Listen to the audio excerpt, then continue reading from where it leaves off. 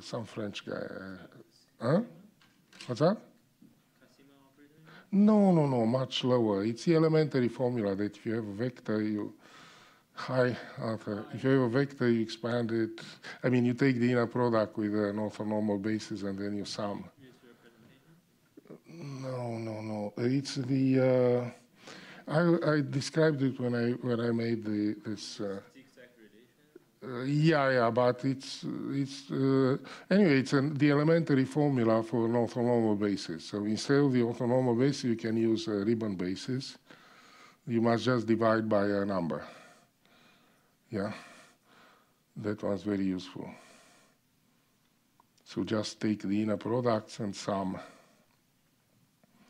sum the corresponding vectors, which are the roots with that number. So it's what happens when you break the space into pieces. That's the, that's on the blackboard. Oh, from the back of the room, it looks like a chemical chart. Yeah, yeah, right, right. Well, it is almost. It's the, uh, it's the pieces in five coordinates that you get when you when you cut the space to make uh, the higher the higher uh, Gelfand-Tsetlyn the high analog of the Gelfand-Tsetlyn. So these are the pieces of space that appear. So at the bottom, there are all of them, which are about uh, 20 or so. And uh, if you go to uh, to eight coordinates, I think that at the bottom you would have about uh, uh, 80,000 different kinds of shards. So these are these are the planes which appear in representation theory. You just cut the space with them. So that's what I'd like to use a supercomputer for, to make this for nine coordinates.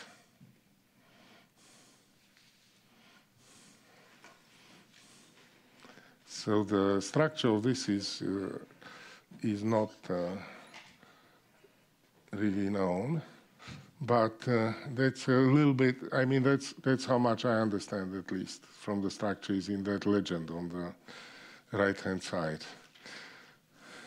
And then there's a, uh, here, so you see that this grows super exponentially. This is for uh, 3D, this piece here. Sruthi, may I, may I, uh, ask you, there are, there are in the office of Arthur, there are two shopping bags with plastic models, because one of them was this one for this, yes? So here, this is for the plane. You see this one here on the left? This is for the plane. It's one triangle standing up and one triangle standing down. That's for the usual intertwiners. Yeah, so you divide the space one triangle standing up, one triangle standing down. Do you see this is a triangle standing up, and this is a triangle standing down. Yes? And there is one kind of edge and one kind of vertex.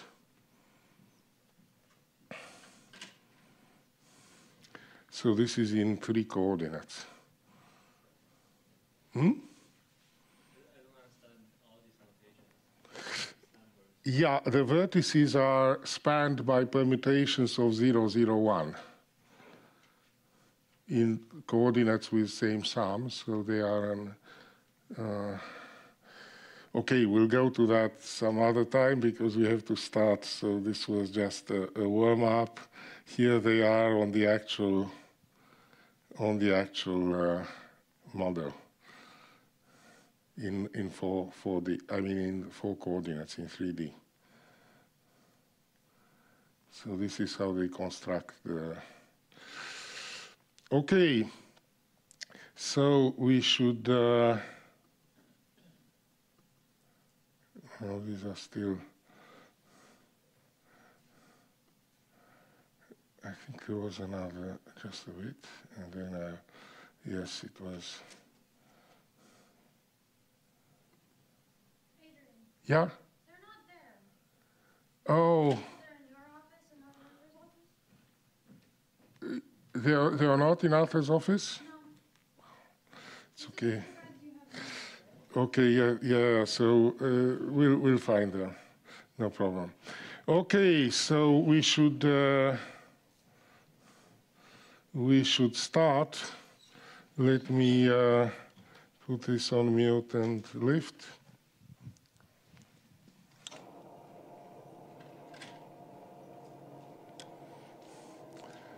I think we have to lower the shades.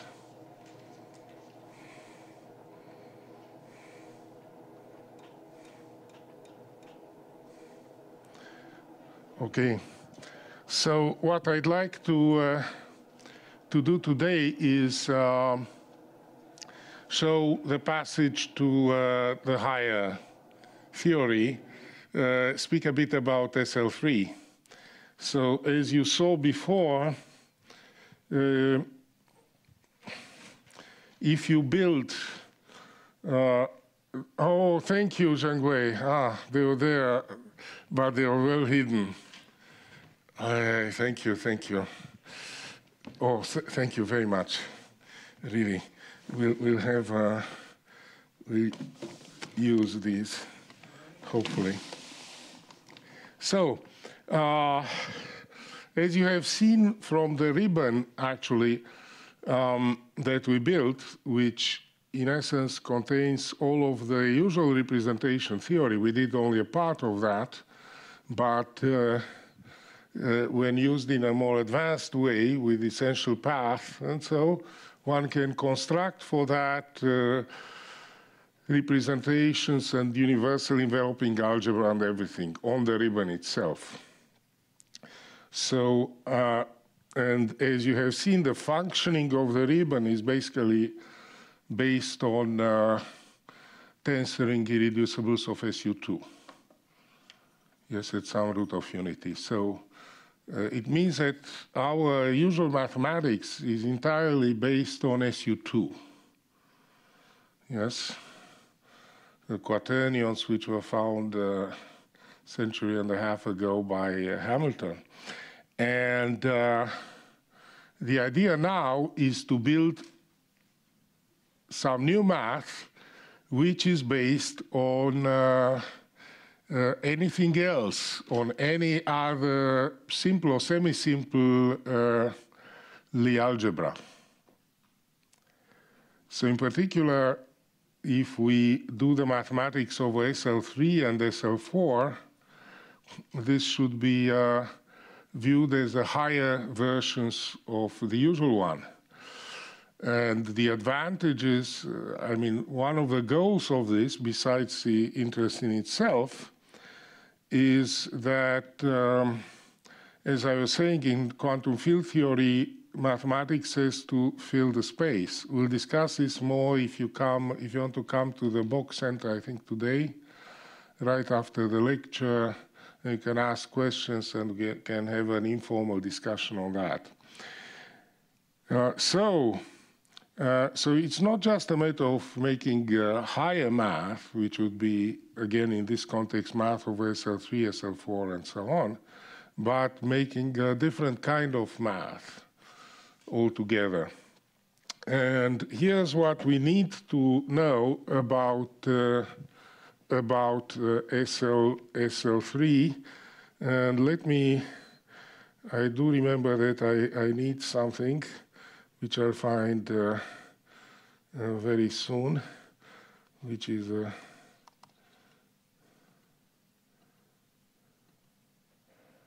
yes. Now,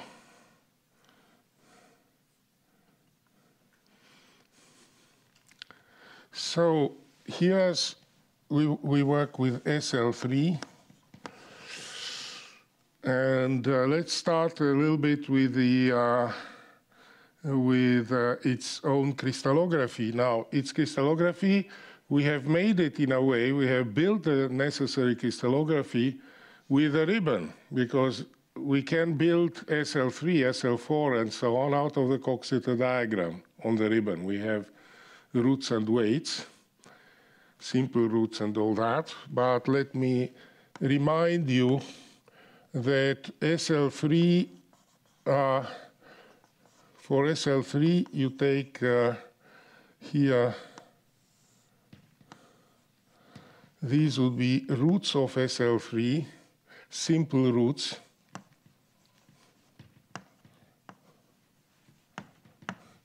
And we should put here the affine root. So maybe we'll put here two arrows, the affine root.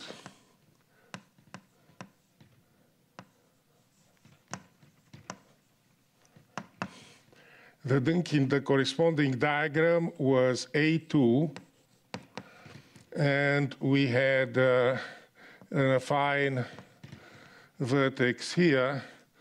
So as you see, it, it, must have angles 120 degrees with the others, right? Which is what you see here.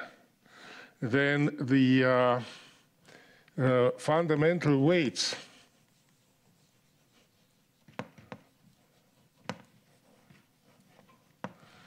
Now, for the fundamental weights, they must be, so the length of these roots is a square root of 2 here. And uh, the weights should have uh, should be the linear dual of this, which means that they have inner product 1 with one of them and 0 with the other. So these should be then the roots, the fundamental See, they're on a line here, so if you make triangles like this,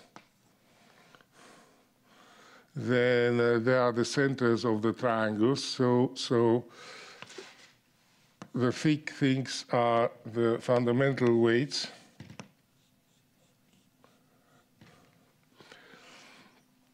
And they have inner product one with the, with the roots. Uh, let me uh, remind you also a little bit uh, uh, how these appear on the ribbon. So since we have the ribbon, why not use it? The ribbon in this case is uh, something like uh, this. So this is a ribbon.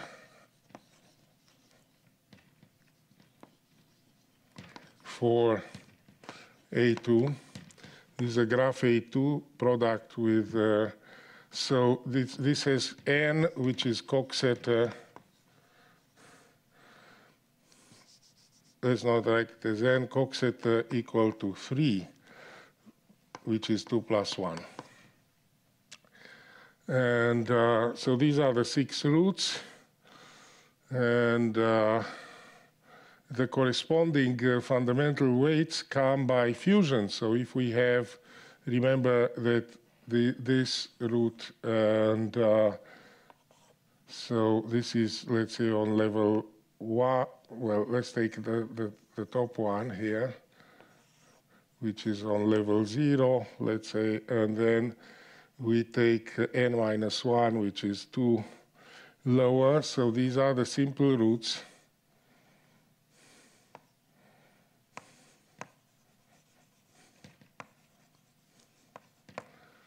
yes, the, these two. In this case, and uh, we should write also a fundamental weight, which was fusion from any of them. So we can start from here upwards or from here downwards. So let's start from here upwards. This would be 1, 1, 0, 0, negative 1, negative 1, this is a fundamental weight.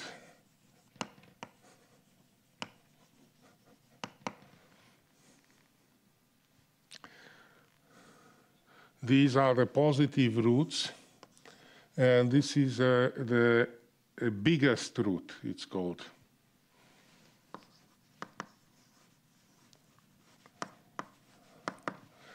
And is a negative of the affine root. it has the biggest coefficients of all. And the coefficients are exactly the coefficients from the affine one, which are 1, 1, 1. So this is the biggest root.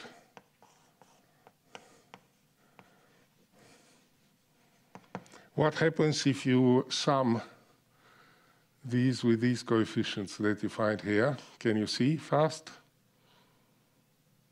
Yes, yes. 1 plus 1 plus 1.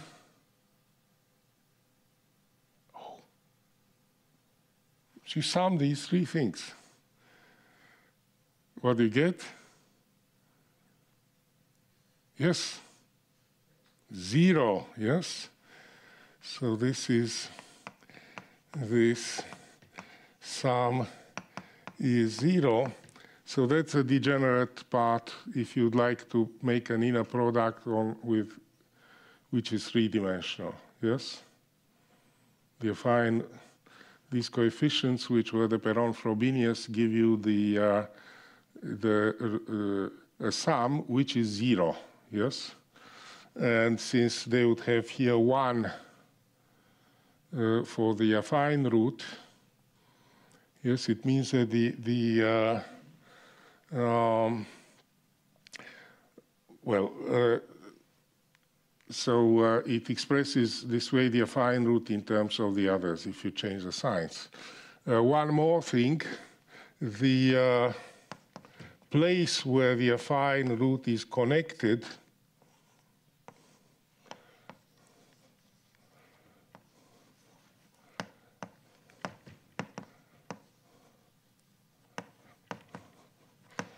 these form the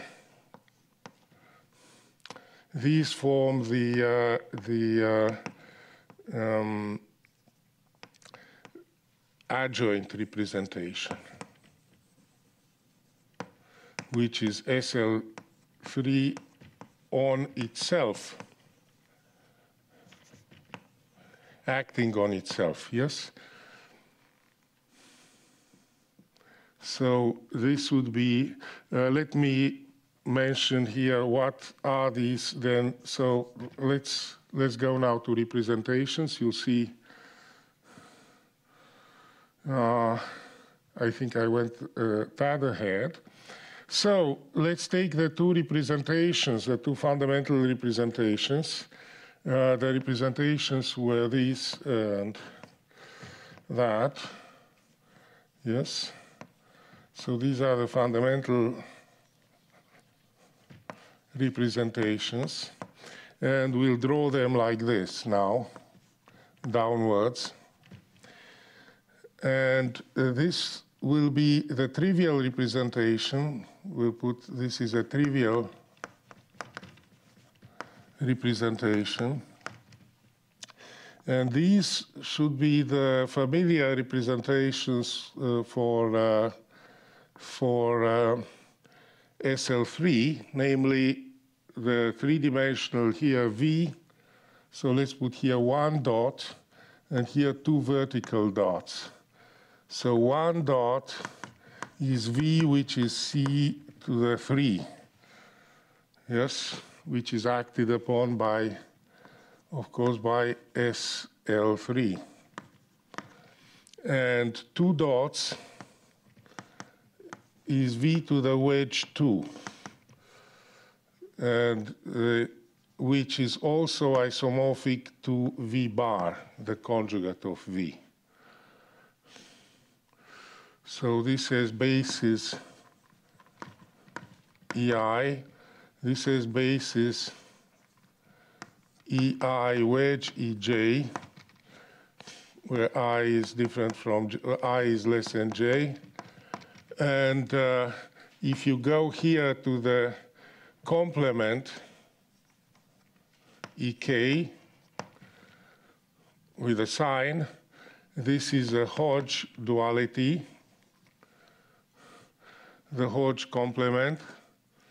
And uh, so this identifies uh, V wedge 2 as uh, V bar.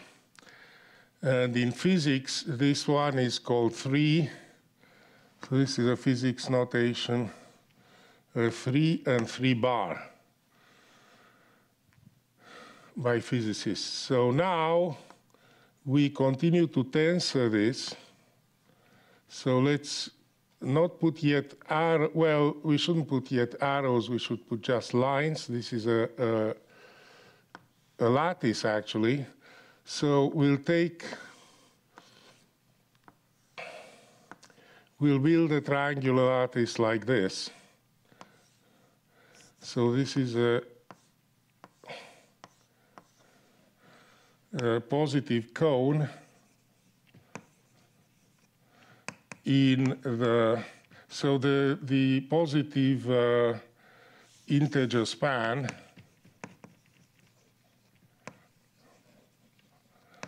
of the fundamental weights.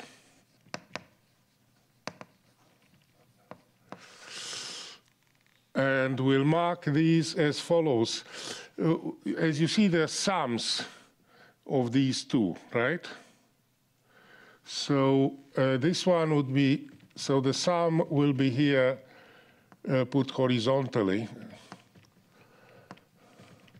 as a vector. So this would be this, and so on.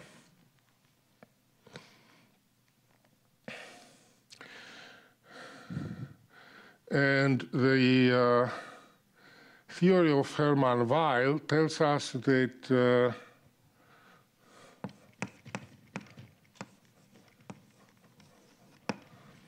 tells us that uh, we can obtain that this table here uh, describes all the uh, finite dimensional representations of uh, this uh, particular SLN. Also, by exponentiations, uh, the, we can build this way all the representations of SU3.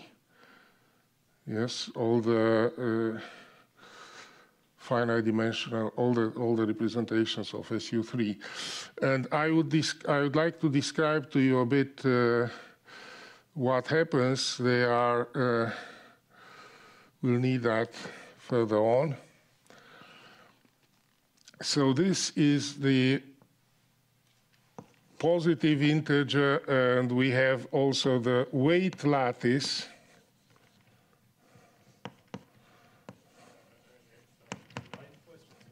Sure. These edges. Yeah, we'll give them a meaning right away, but we need to orient them uh, in two different ways. That's why I, did not uh, yet put arrows on them, and I'll, I'll give them meaning, yes. I mean, the, the downward arrow is a meaning. It's about this generated by this. Yes. So it's well, it's the same. So what we'll show is that if you tensor, for instance, with this generator, so we can tensor representations. Let's, let's go to that. So these are the arrows of uh, tensoring. Note the orientation. Thank you for the question. So, yes. So note the orientation here which is circular.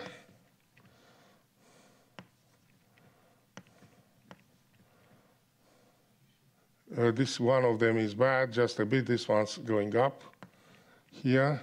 And uh, so they're going the same way for the same direction they're oriented, yes? So this is a graph of dot. So this is, uh, we'll call this sigma dot. And this one is, uh, of course, sigma double dot. And in general, these are called Young.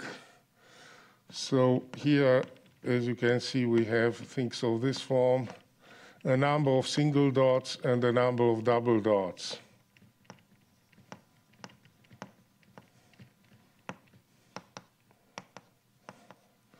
So these are called Young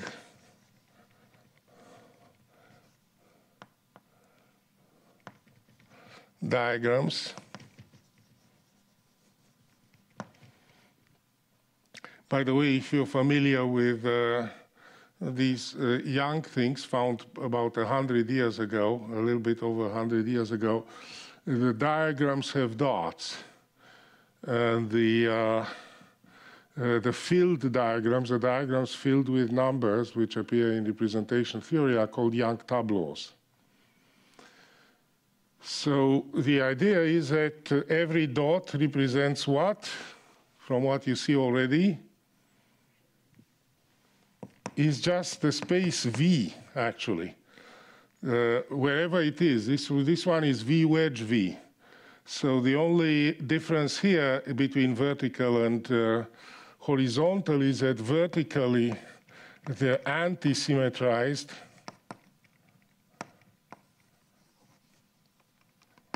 and horizontally things are symmetrized.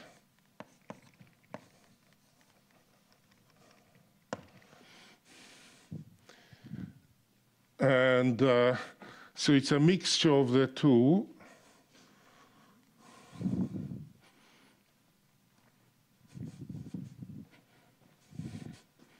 Now, the graph here is the graph of tensoring with sigma with a single generator, this, this particular graph.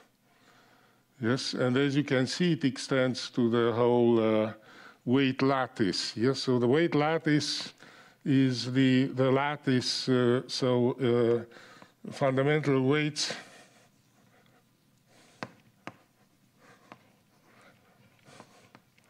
with integer coefficients.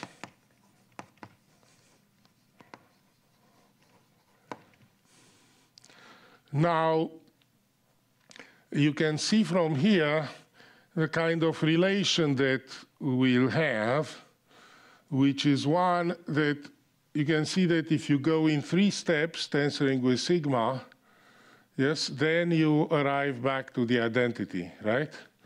So uh, sigma uh, tensor sigma dot tensor sigma dot yes contains the identity and this is why because this is v tensor v tensor v and inside it there is v wedge v.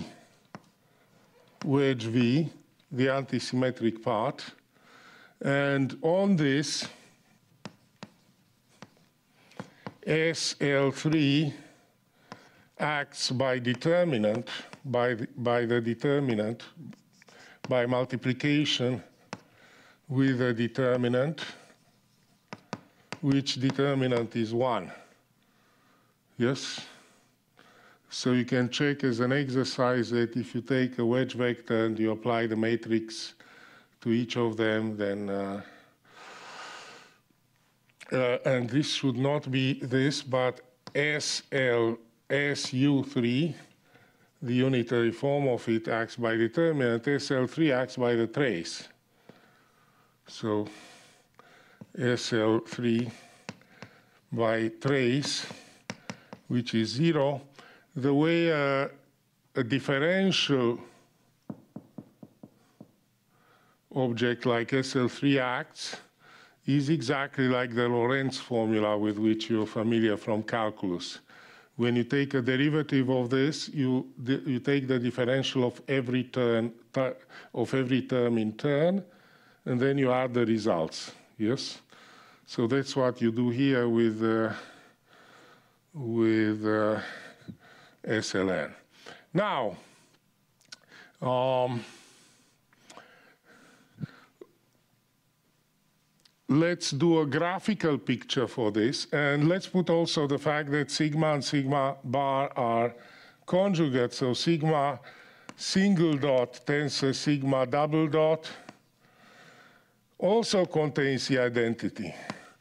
So uh, let's write here one more thing that sigma double dot tensor this uses arrows the same arrows backwards.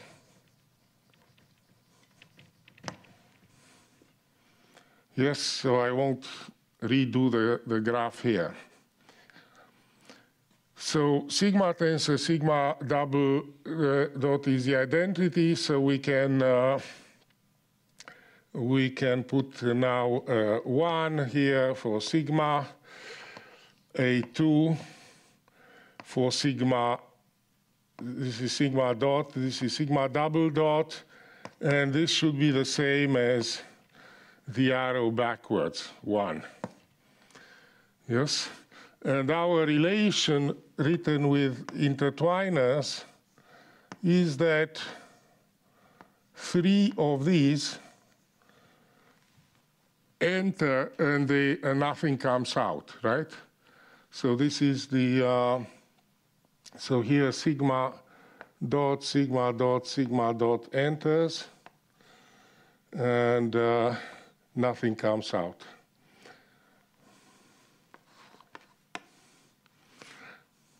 Okay, now the uh,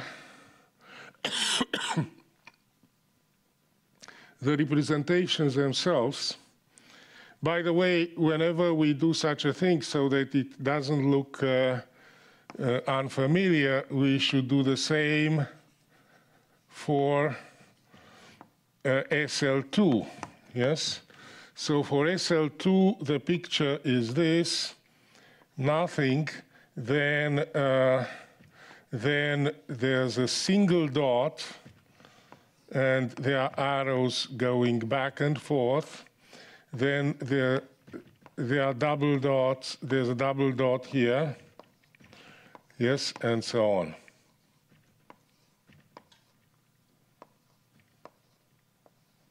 The affine diagram in that case is this one.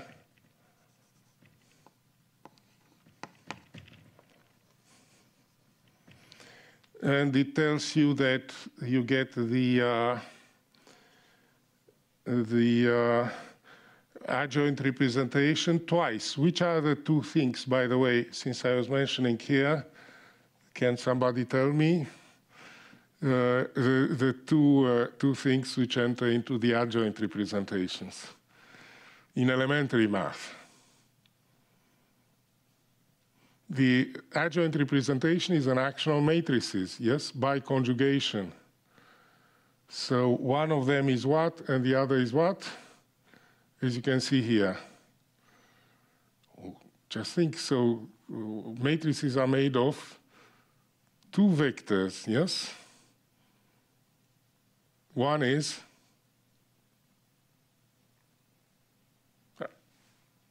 matrices are made of two vectors, right? So these would be rows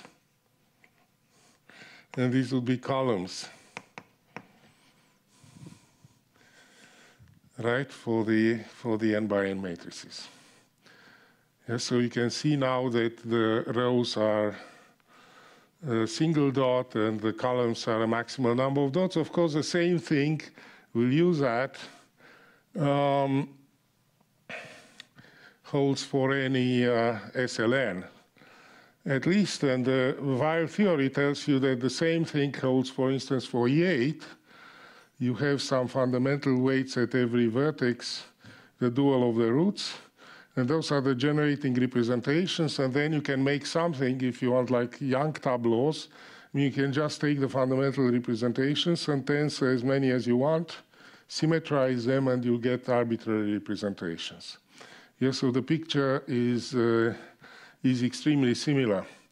Uh, now, uh, here we don't have to use a half blob, by the way because the product of three columns, if you permute three fellows uh, circularly, yes, then the, the first one, in order to go back, jumps over two, right?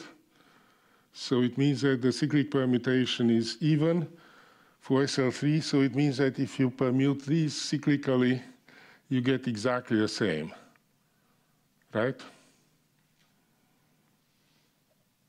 For SL2, if you switch two, thing, two people there. Okay, so now uh, let me describe a little bit the representation according to uh, uh. Now we have described a bit the representation. You remember we were growing some vegetables from uh, from this, so that was a Gelfand-Tsetlin explicit representation. Yes. Uh, I'd like to describe though the weights of that. So here is the Weyl theory. So you take now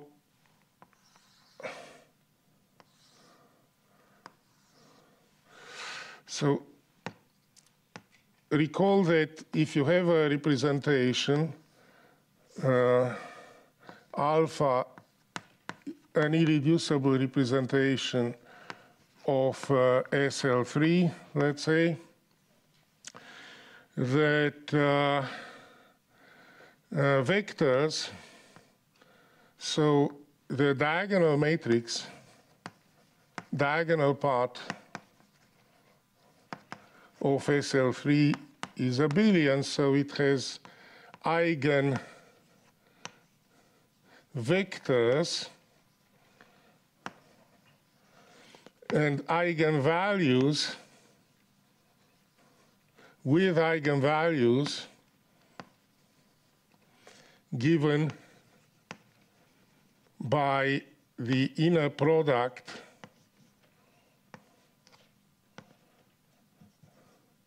with some uh, omega where this is called a weight.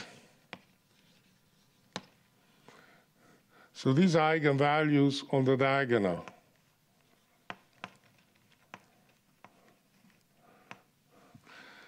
Diagonal, you view the diagonal as a vector space, and then a linear form on that is inner product with a vector, right?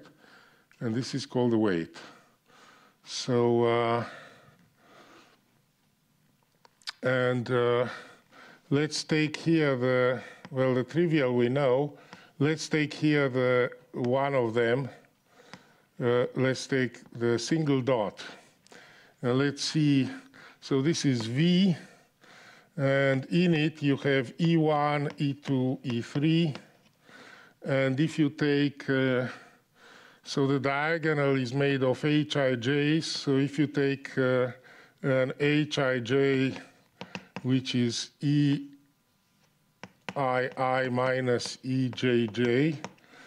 Yes, if you apply hij to e, ek, yes, this is Kronecker of ik minus Kronecker of jk times ek. So ek is an eigenvector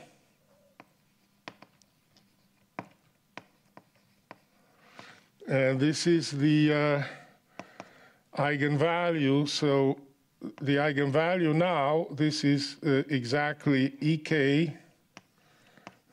inner product with, uh, I mean, H, let's put here the H in front. This is Hij in a product with a vector Ek. Uh, if we write uh, EI, where now we use a different convention. This would be EI minus EJ.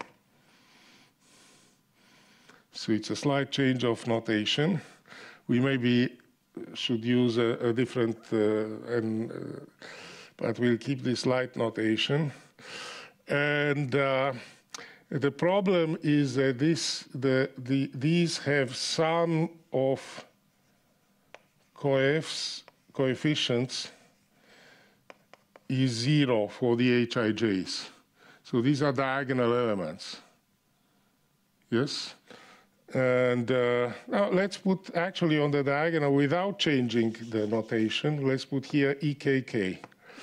But EKK uh, does not have the sum of coefficient zero, so this is HIJ inner with uh, and now, how do you write this? You, you need the projection of this onto onto the onto the sum zero. So it's ekk minus one third the sum of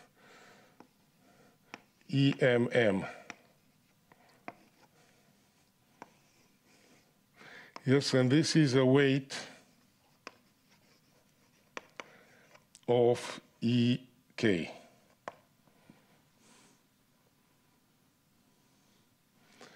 So the three weights are the following. They would be, uh, the first one would be, so the uh, one of them is exactly in this cone, and that one is uh, the weight of E1. This is going to be E1 minus one third E1 plus E2 plus E3. And this is uh, two thirds, negative one third, negative one third. Yes, and the others are permutation of this. So here they are in the plane.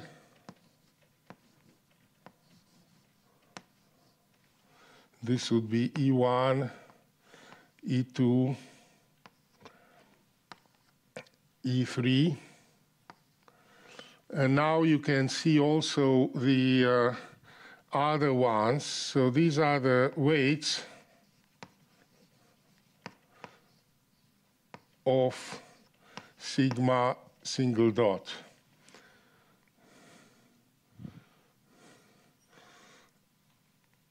And now you can also see the weights of sigma double dot, which are, so sigma double dot has vectors E1 wedge E2 and so on. And E1 wedge E2 would have as weight the sum of the two weights of E1 and E2. So this would be this. So these are weights of this generator, yes? Now let's do in parallel as we were doing before the weights of, uh, so for SL2, we have single sigma dot, which are the, which is a generator and which has two weights.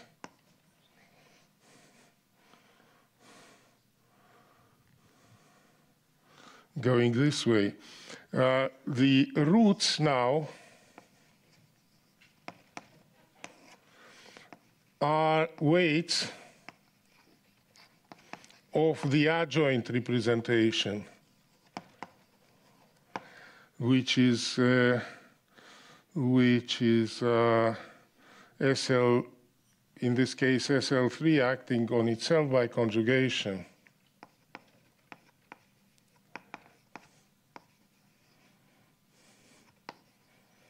by commutator differentially. And we leave it, uh, so the roots are weights, they are the non-zero weights of the adjoint representation. So let's, uh, let's do this here now.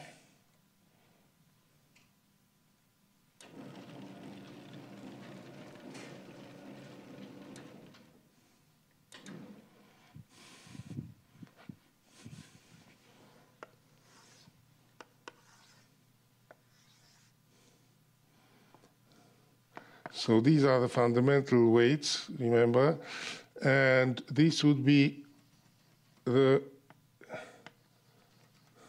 so these are the fundamental weights.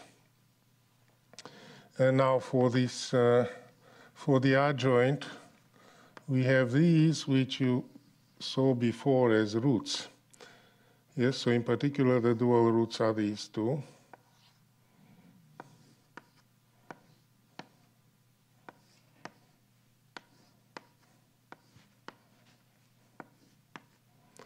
So these are the roots. And there is one more, so remember these are the traceless matrices, so they will be three by three, size nine. We have trace zero, which uh, removes one, so it should be eight. Yes, which are where? Two in the middle. So uh, there's also, so the, uh, these are roots, and this one we here with multiplicity 2. This is a weight 0 of uh, diagonals elements twice. And now we have the eight, the eight uh, weights total eight weights of the adjoint representation. So again, for SL2, the weights are the following. If you take the fundamental roots here to be this one and this one, the, the fundamental weights, the, the, the roots are this one and this one, yes? So in physics, these are, uh, so these are the fundamental weights. This is a fundamental weight, there's only one weight, and this is in physics a spin one half. And uh, this is the, uh, this is a root, the positive root, which corresponds to the representation of spin one. And uh,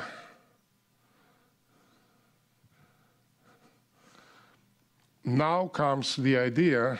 I was trying to see what was this, uh, how could one build the higher ribbon.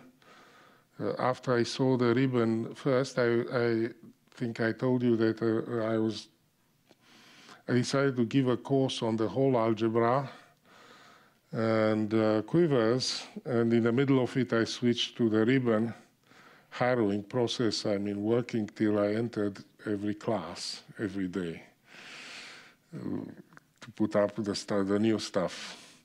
And uh, I was trying then to see what's a high analog of that ribbon. And the main observation was that the, uh, uh, the Z mod 2n, which we used, was actually the weight lattice. So remember that in the case of SL2, we use the graph G times here Z mod 2n, but this was a weight lattice. It's written a little bit small, the weight lattice of SL2. So the idea weight lattice. So the idea is to use, in this case, the weight lattice of SL3 with the same, uh, uh, same uh, role as before. But let me, before that, discuss a few more representations. So you have seen here one, yes? You see this is the, this is the highest weight of this representation, this one here. And uh, it somehow is supposed to span all the other, uh, the whole representation, uh, and encode it. You remember that in the Gelfand-Tsetlin picture, the highest weight was sending everything toward the wall, and then we obtained out of that wall the rest by moving things away from the wall. Yes, so this is the highest weight. And um, the formula, so for Hermann Weyl, so, so again, the theory which we won't do here uh, in any detail except for what we need, is that uh, any irre irreducible representation of a simple Lie group has a highest weight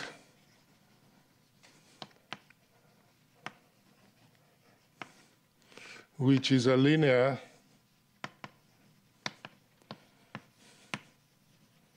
combination uh, with which is a, a positive positive integer combination of the fundamental weights.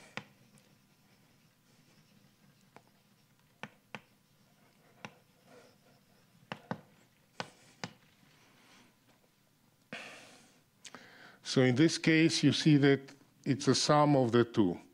And it also describes to you how this is generated. Remember, these are the three by three matrices which are traceless, yes? So what did we do? We tensor this with this, yes? Rows with columns. And we took away a copy of the trivial representation. As you can see in this example, you can uh, the, there is a, a theory similar to the essential path. Namely, uh, we could take paths, we could, we could uh, take paths made of the generators and then remove, take only in the corresponding tensor product, yes, remove copies, remove things so as to leave only the irreducible. That's a mechanism. Once again, here, this is made of going once to the left and once to the right, yes, which would be something like this, but we remove the trivial, yes?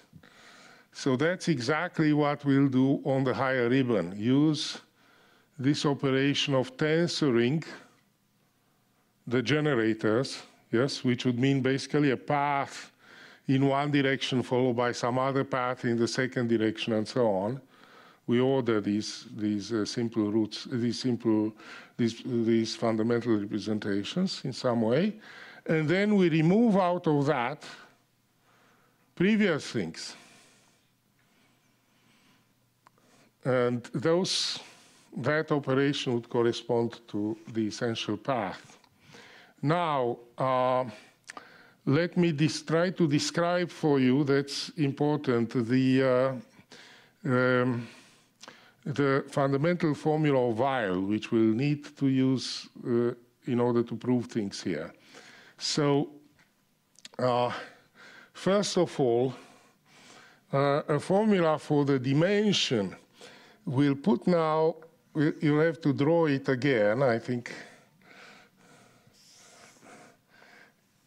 fortunately, I saw that the latest version of uh, programs like Adobe Illustrator allows you to have a grid at 60 at 60 degrees, so you can uh, you can set your grid and, and draw everything you want. Uh, try to be very accurate when when you describe it. These these things are crystallographic. So this uh, now will put will put things the previous lattice in between two mirrors. Let's use some dots here.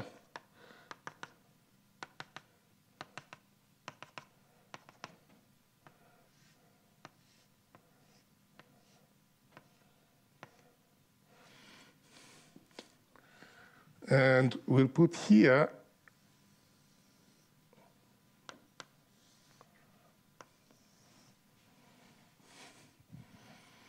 We'll call them the Weyl mirrors.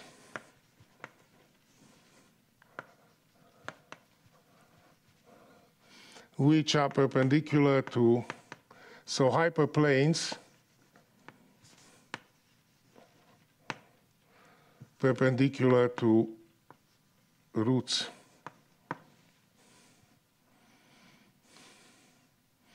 And we'll start here with the trivial representation, single dot, double dot.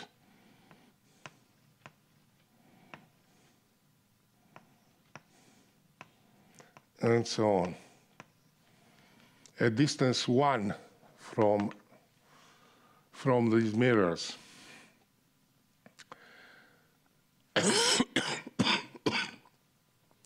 so again, these here are the fundamental weights.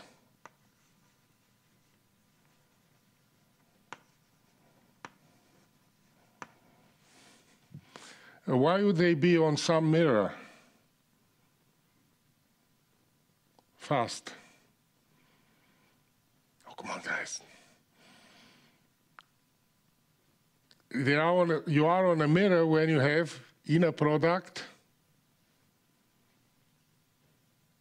zero with a root. The problem with mirrors uh, that I found when uh, teaching mirrors in uh, linear algebra was that people did not see enough uh, uh, detective movies. You see what happens when you write something on the mirror, what happens with the writing. It nopes. If you write on the mirror, it's usually with some lipstick or something, it stays the same, yes? So the mirror is a part that's fixed.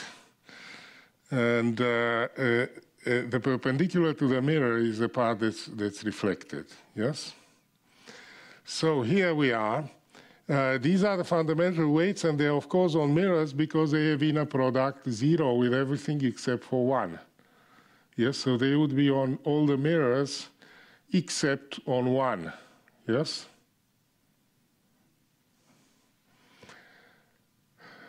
Among, uh, uh, okay, so now this is a very important vector here. So this vector is, uh, this vector rho is called the Weyl vector rho. And is a sum of all of all fundamental weights.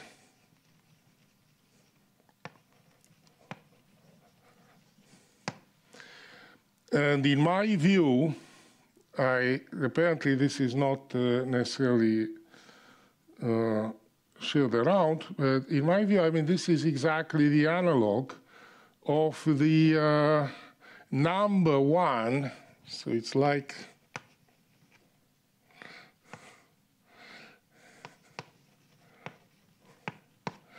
which is viewed as a difference between the multiplicative unit minus the additive unit of R or Z. Yeah? It's better in this case of Z rather than of R.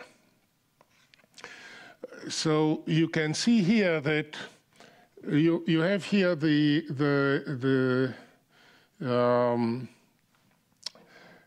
trivial representation. So this is the unit for tensoring, yes? So these, here you have tensoring.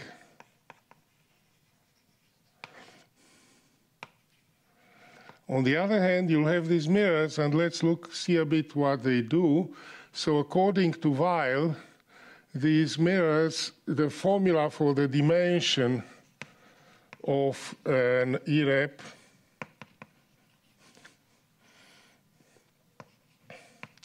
with highest weight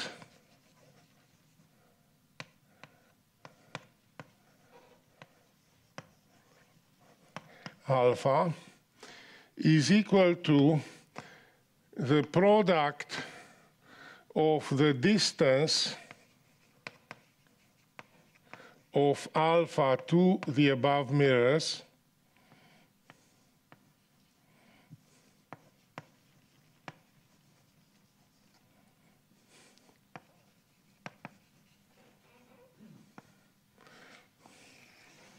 over the same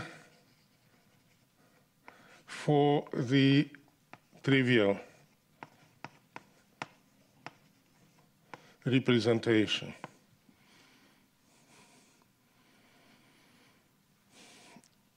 This is known as a Weyl denominator, and this is a Weyl numerator. So let's compute here one such example. Uh, this should be which one, which we just did? Oh yes, we should uh, we should stop in a second. Uh, here we should, uh, and we'll continue at the Bok Center, but let, let's just uh, not stop before we compute just the, the size of this, which is what distances are there here. Do you see two, three, and two, yes? So the dimension of this is two, three, two, divided by the same here, which is 1, 1, and 2. And this is uh, not 2, 3, 2, but it's 2, 4, 2. Do you see this is 1, 2, 3, 4, yes? 2, 4, 2 over 1, 1, 2 for this, yes? And this is 2 times uh, 4. Uh, this holds with quantum numbers, so we shouldn't necessarily uh, write it, uh, uh, I mean, uh, take the product here, and this is known in physics as 8, yes? So uh, we'll continue uh, next time and build toward the, uh, the, we're kind of halfway toward defining uh, the uh, ribbon, the higher ribbon, yes? So uh, we'll do then mathematics over SL3. And there's a chance, as I, I haven't yet computed it, but I'll stay here longer. We can continue the discussion in the Bok Center, but there's a chance that this could be the uh, this could be the math over quaternions, and uh, the other one over sedenions and so on, because it turns out that the fundamental, the SL2, or in these higher cases, has uh, uh, powers of two as dimensions and they don't look like they're associative at all. So we'll stop here. Very good.